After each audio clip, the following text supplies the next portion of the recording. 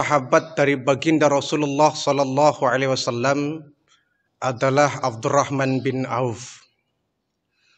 Abdurrahman bin Auf, beliau merupakan salah seorang dari kelompok As-Sabiqun al-Awwalun, yaitu orang yang masuk ke dalam kelompok kelompok pertama yang masuk ke dalam agama Islam.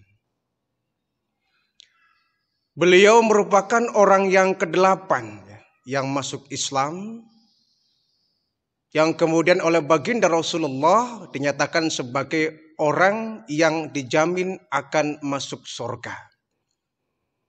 Karena beliau termasuk as-sabiqun al-awalun, orang yang kedelapan yang membaiat dirinya mengikuti seruan dari baginda Rasulullah menjadi seorang yang muslim.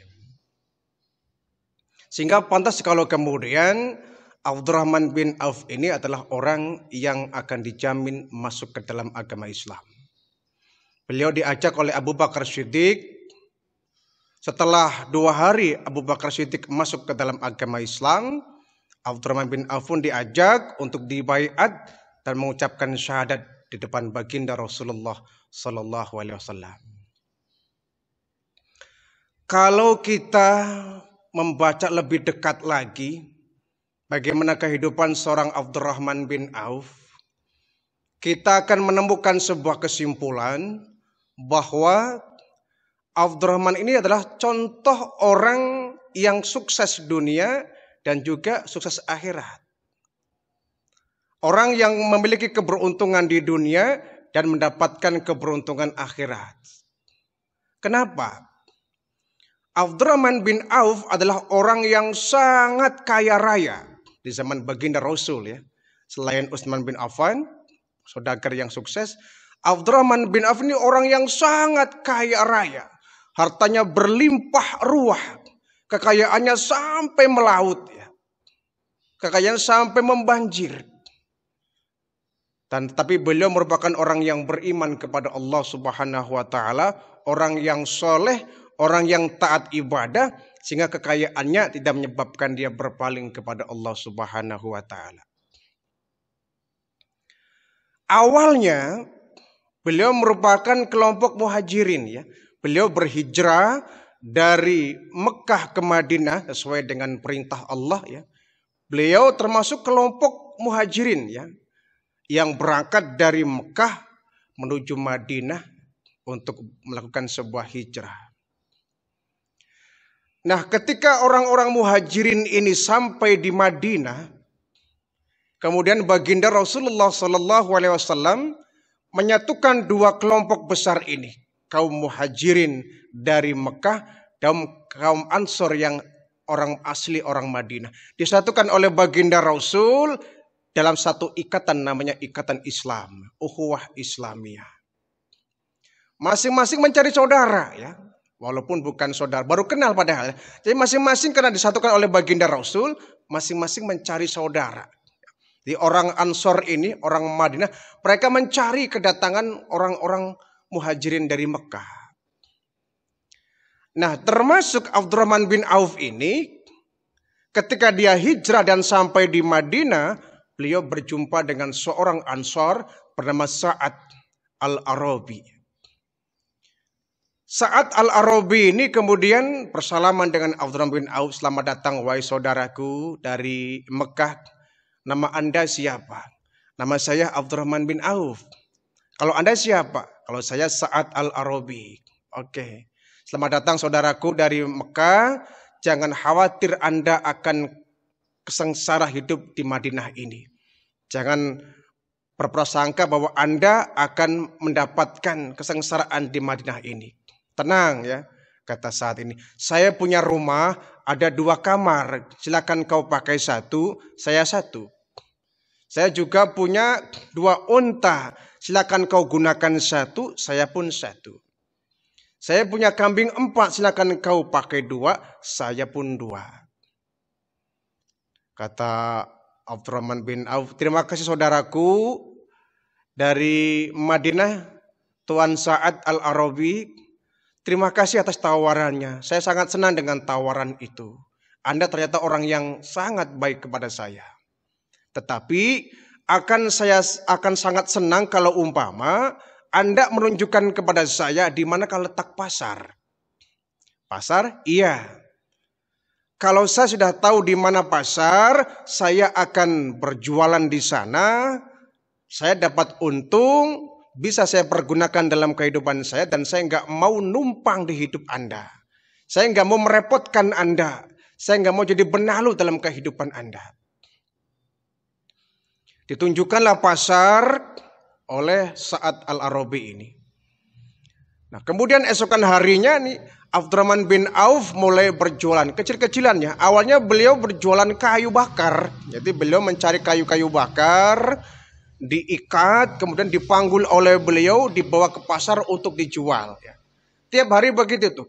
Mencari kayu bakar, diikat, dipanggul ke pasar, kemudian dijual. Dijual dan dijual. Nah, lama kelamaan dari hasil penjualan ini dikumpulkanlah oleh Abdurrahman bin Auf, dikumpulkan, dikumpulkan, ditabung, ditabung dan ditabung. Lama kelamaan tabungan semakin banyak, semakin banyak dan semakin banyak.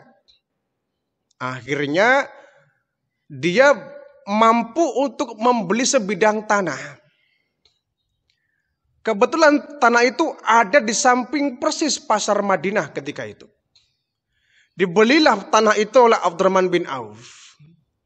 Setelah dibeli, tanah itu kemudian dipetak-petakin ya. Dipatok-patok, dikafling-kafling lah. Dengan tujuan untuk berjualan bagi yang nggak punya tempat berjualan. Nah ketika sudah dipetak-petakin, sudah dikapling-kapling, ditawarkan ke orang-orang. Wahai penduduk Madinah, siapa yang mau berjualan, berdagang silakan di tanah saya.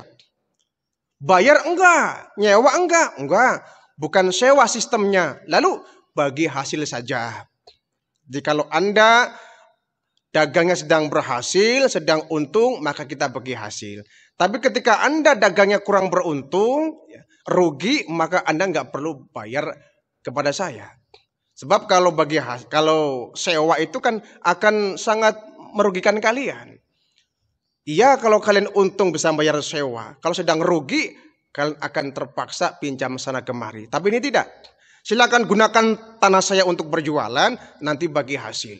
Nah ternyata ide ini sangat disambut baik oleh pedagang pasar yang ada di Madinah itu. Mereka kemudian berbondong-bondong berebut. Berebut tanah milik Abdurrahman bin Auf ini. Ada yang pesan semeter, ada yang pesan dua meter, ada yang pesan tiga meter untuk berjualan. Akhirnya banyak juga orang yang menggunakan tanah Abdurrahman bin Auf untuk berjualan. Nah, di sinilah mulai ya, mulai dan mulai keuntungan para pedagang yang dagang di tanah Abdurrahman bin Auf ini dibagi rata deh, bagi dua ya, bagi hasil. Bagi hasil, bagi hasil, bagi hasil. dan untungnya semua pedagang yang dagang di tanah itu hampir semuanya laris. Semuanya maju, semuanya berhasil. Akhirnya di sinilah kemudian Abdurrahman memulai bisnis barunya. Dia mendapatkan keuntungan banyak, keuntungan banyak, keuntungan banyak. Semakin banyak, semakin lama semakin beliau menjadi orang yang kaya. Hartanya semakin berlimpah, uangnya semakin banyak. Dan tercatat bahwa ketika itu Abdurrahman bin Auf adalah sahabat Nabi yang paling kaya. Di samping Utsman bin Affan ya, sangat kaya ini. Tetapi beliau sangat dermawan. Beliau kalau bersedekah nggak tanggung-tanggung ya. Dan setiap peperangan yang dihadapi oleh kaum muslimin, Abdurrahman bin Auf selalu yang menanggung dananya. Yang memikul biayanya semua ditanggung oleh Abdurrahman bin Auf. Di perang Badar misalkan ya. Beliau menyumbang kurang lebih 400 dinar disumbangkan untuk biaya peperangan ya. Uang itu dibagi-bagi kepada para pejuang muslim agar mereka bisa semangat berjuangnya dan mereka yang perbekalan habis bisa untuk membeli perbekalan yang habis. Satu orang ya, dikasih uang secara cuma-cuma oleh Abdurrahman bin Auf ya, 400 dinar kurang lebih 2 juta lah ya, 20 juta, kurang lebih 20 juta. Kalau satu dinarnya itu 50 ribu, ya kurang lebih 20 juta. Dibagi-bagi secara cuma-cuma kepada para pejuang-pejuang muslim. Itu perang badar ya. Bahkan bukan cuma itu, Abdurrahman bin Auf sumbang kembali. 40 ribu dinar. Subhanallah. Kalau tadi 400 dinar ya untuk para pejuangnya. Ini untuk mengadakan pengadaan senjata ya, membuat pedang, membuat tombak, seluruh biaya disumbangkan semua oleh Abdurrahman bin Auf sebanyak 40 ribu dinar. Kurang lebih 300 juta ya. 300 juta disumbangkan untuk biaya perang. Bukan hanya itu, beliau juga sumbangan tuh 500 kuda. Kuda yang gagah-gagah ya. Beliau nyumbang kurang lebih 500 ekor kuda untuk para pejuang-pejuang muslim. 1500 unta. Bayangkan 500 kuda, 1500 unta dibagi-bagi kepada para pejuang. Kalau kemudian tengah jalan mereka lapar, maka untanya bisa disembelih, bisa dimakan bersama-sama. Luar biasa. Sampai Rasulullah memuji, Wahai Abdurrahman bin Auf, kau luar biasa. Kau nyumbang, kau sedekah, nggak tanggung-tanggung. Ya Rasul, kekayaan yang saya miliki adalah pemberian dari Allah. Maka saya harus bisa berbagi kepada sesama. Dan saya akan sangat bahagia kalau perjuangan Anda ada andil dari kekayaan saya. Saya mau kalau harta yang saya miliki merupakan penunjang bagi dakwah Anda menyiarkan agama Islam ini. Jadi luar biasa ya. Orang kaya berani dan mau untuk memberi. Ini yang kita butuhkan di zaman sekarang ini. Orang Islam di zaman sekarang yang kaya itu banyak. Orang Islam yang kaya itu banyak. Yang sedikit itu orang yang kaya dan peduli kepada agamanya. Ini yang kurang. Jadi orang-orang kaya zaman sekarang tuh boleh mencontoh Abdurrahman bin Auf ini. Orang yang kaya raya, hartanya berlimpah, tapi hartanya tidak eman-eman, tidak sayang disumbangkan untuk perjuangan Islam. Di perang Tabuk misalkan ya, perang Tabuk itu kan pernah terjadi ya. Beliau menyumbang kurang lebih 200 ukiyah emas. 200 ukiyah emas. Satu ukiyah itu kurang lebih 31 gram ya atau 15 juta. Ya. 15 juta disumbangkan untuk peperangan namanya perang tabuk. Luar biasa halnya berlimpah. Cuma yang membuat Abdurrahman bin Auf ini agak resah. Satu hari baginda Rasulullah SAW ketika mengisi taklim pengajian, beliau mengatakan, bahwa Abdurrahman bin Auf adalah orang yang terakhir masuk sorga. Ini yang membuat beliau kaget. Ya Rasul, kenapa menjadi orang yang terakhir masuk sorga? Lah ya iya, kenapa? Abdurrahman bin Auf orang yang sangat kaya raya. Dan nanti di akhirat persidangannya lama. Hisapnya lama. Karena dia punya banyak harta. Karena semakin sedikit, dia akan semakin sebentar persidangan di akhirat. Semakin dia orang kaya, semakin lama persidangannya. Jadi Abdurrahman bin Auf, kata baginda Rasul, adalah orang yang nanti kelak akan menjadi orang yang terakhir masuk surga. Nah mendengar ucapan ini, beliau resah. Dan kemudian beliau berpikir keras bagaimana caranya agar saya tidak menjadi orang kaya. Agar bagaimana saya jadi orang miskin, kalau saya jadi orang miskin maka saya tidak akan menjadi orang yang terakhir masuk surga. Dia mikir keras. Ini hartaku harus saya habiskan ini. Harus saya bagi-bagi ini. Akhirnya beliau bagi-bagi semua hartanya itu. Uangnya dibagi-bagi kepada masyarakat luas. Dengan tujuan agar dia segera menjadi orang miskin. Ini kan agak aneh ya. Orang Kayak zaman sekarang kan nggak bukul begini. Nggak ada orang yang kaya pengen jatuh miskin. Yang ada orang yang kaya terus berjuang agar semakin kaya. Kan begitu. Abdurrahman bin Auf tidak. Dia takut jadi orang kaya dan takut menjadi orang yang terakhir masuk dalam surga. Saya nggak mau gara-gara harta ini saya ketinggalan tiket masuk ke sorga. Orang-orang miskin sudah duluan, saya paling belakang, saya nggak mau. Maka saya harus menjadi orang yang miskin. Hartanya dibagi-bagi.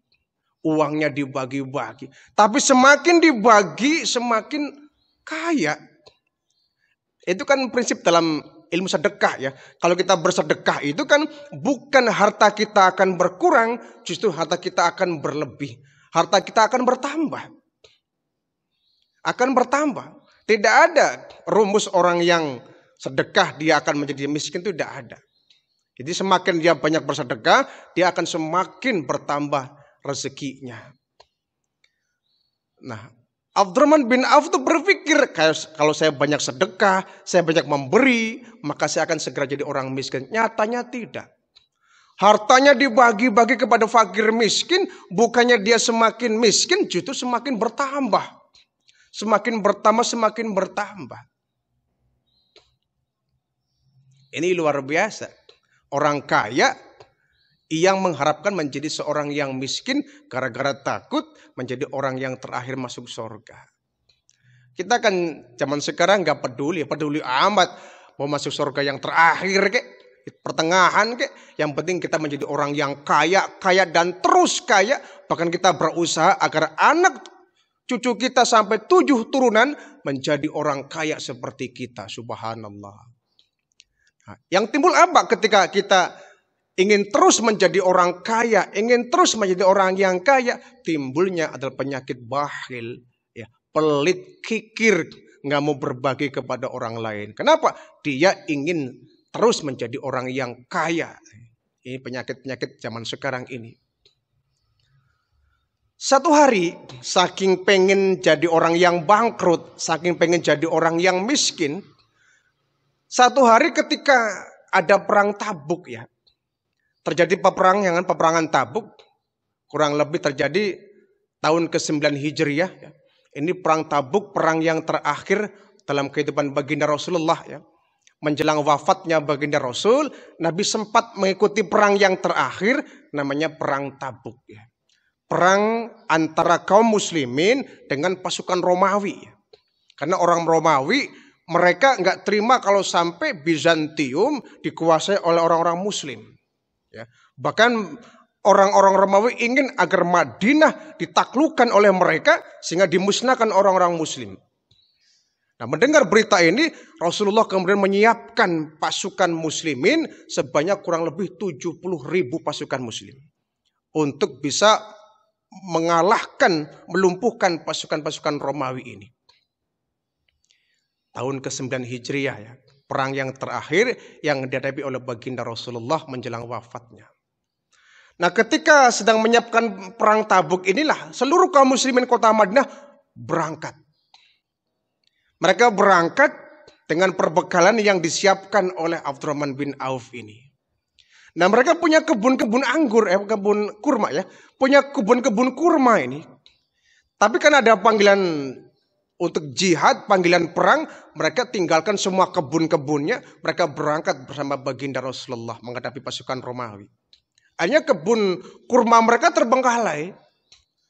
Dari semula berbuah, eh, belum berbuah ya, sampai berbuah masih mentah, sampai matangnya, sampai kelewat matang, sampai busuk nggak terurus karena semua pasukan muslimin masih berangkat berperang. Pulang dari perang Tabuk ini, kaum muslimin pada pulang ya ke Madinah. Mereka sangat kaget dan kecewa. Uh, kurma-kurma yang mereka tinggalkan ini di kebunnya masing-masing sudah pada membusuk.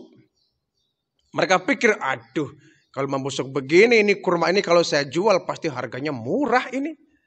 Kata baginda Rasul, ya sabarlah, itu ujian buat kalian ya. Itu ujian buat kalian.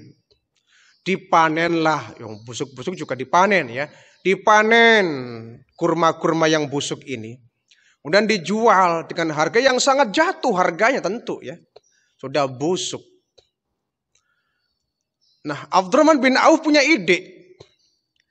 Ini kurma-kurma orang-orang Madinah sedang pada busuk ini, mereka pasti dijual dengan harga yang sangat murah. Orang busuk, bahkan mungkin tidak ada yang berminat.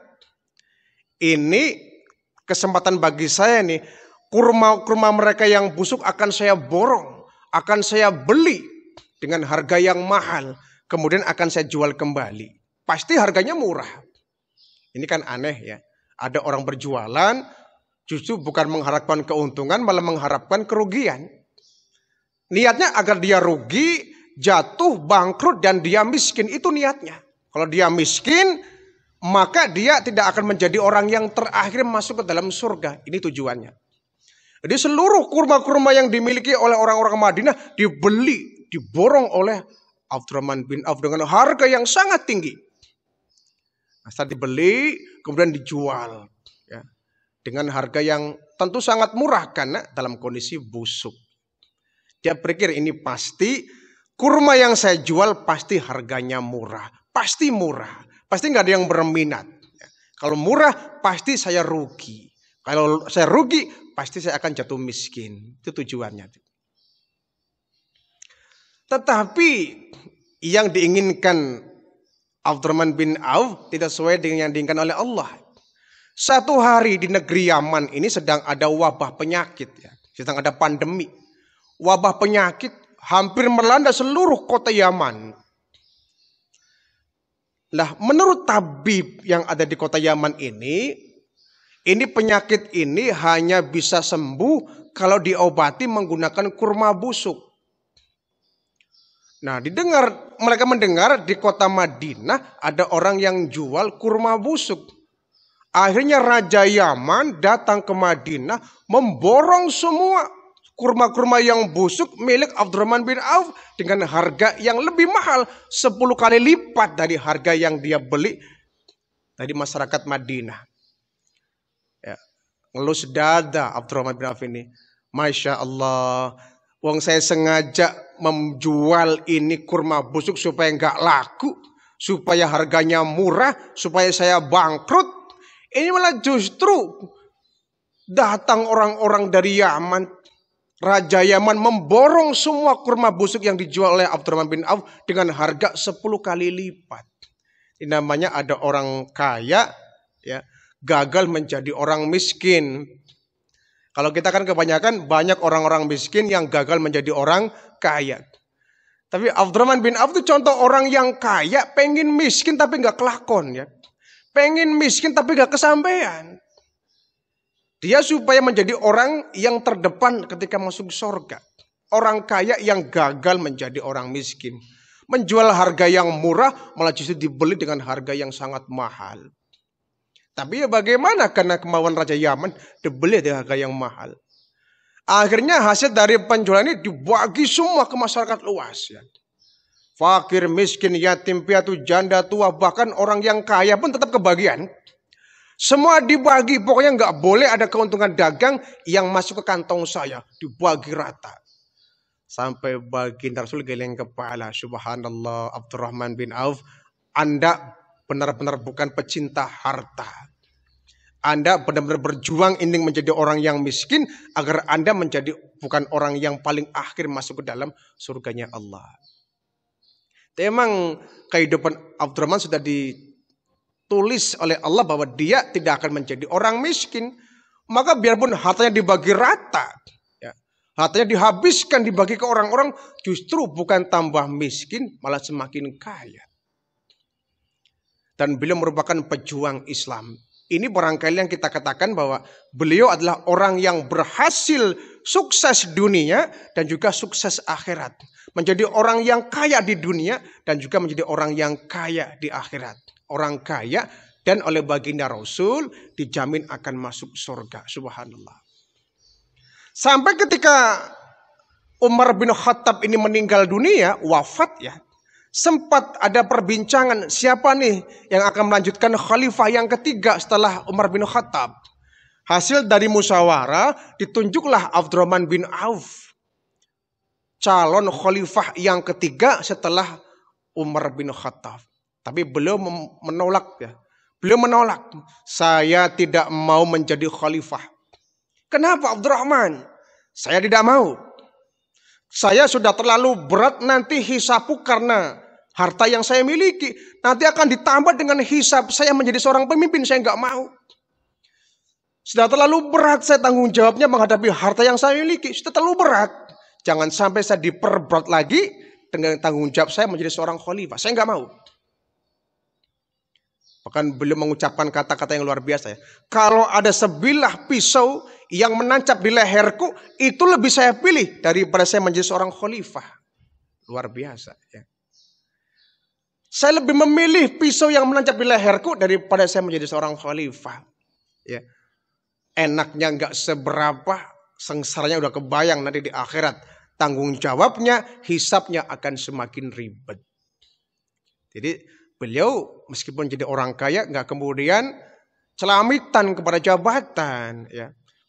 Beliau nggak mau menjadi seorang kaya sekaligus pejabat karena beliau anggap bahwa menjadi orang kaya pun sudah repot ya. Sudah repot, sudah menyibukkan diri bahkan terancam menjadi orang yang terakhir masuk surga. Apalagi ditambah dengan menjadi seorang khalifah. Sampai usia beliau ya, beliau wafat ketika usia 72 tahun. Ya. Beliau masih tergolong orang yang masih bertahan menjadi orang yang kaya. Bahkan tercatat hartanya itu kurang lebih 6 triliun ya.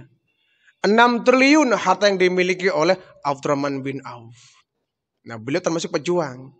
Ketika di perang Uhud, beliau mendapat luka sebanyak 20 luka ya. 20 luka di badan sampai gigi beliau pada ompong. Ya. Ompong karena mereka gigi itu sering dibentur-benturkan dengan senjata. Ya. Ada yang mukul, ada yang menggunakan kayu, ada yang menggunakan besi. Sehingga ketika peperangan, Abdurrahman bin Auf ini giginya patah. Giginya banyak yang ompong. Sehingga beliau di akhir hayatnya itu kalau bicara agak sulit ya. Karena giginya itu semuanya habis di dalam peperangan itu. 6 triliun harta beliau. Nah, ketika beliau hendak wafat, beliau wasiatkan kepada anaknya, anakku, nanti kalau bapakmu wafat, tolong hartaku ini kau bagi rata. Kau bagi-bagi orang-orang. Kau bagi ke orang-orang. Ya, saya nggak mau saya meninggalkan harta yang menyebabkan saya akan mengalami kesulitan dan berat ketika menghadapi alam barzah. Bagi semua hartaku, jangan ada yang tersisa. Ketika aku sudah tidak ada di dunia, hartaku juga harus lenyap dari dunia ini. Nggak boleh ada harta yang menyebabkan fitnah nanti. Itu luar biasa ya. Wasiat yang luar biasa. Jadi bukan mewasiatkan nih anakku nanti bapak meninggal kau bagi rata ya. Kakakmu, adikmu harus dapat. Tidak. Mintanya dibagi kepada orang-orang. Masyarakat luas dibagi rata. Supaya ketika saya meninggal dunia. Sudah tidak ada di permukaan bumi. Hartaku pun selesai sampai di situ. Ini yang perlu kita contoh ya. Orang yang kaya dan mau berbagi bersama bersedekah dengan tanpa menghitungkan perhitungan ya. Bersedekah dengan tanpa hitungan lagi. Dan itulah yang kita butuhkan Abdurrahman bin Auf di zaman sekarang. Agar Islam ini semakin jaya.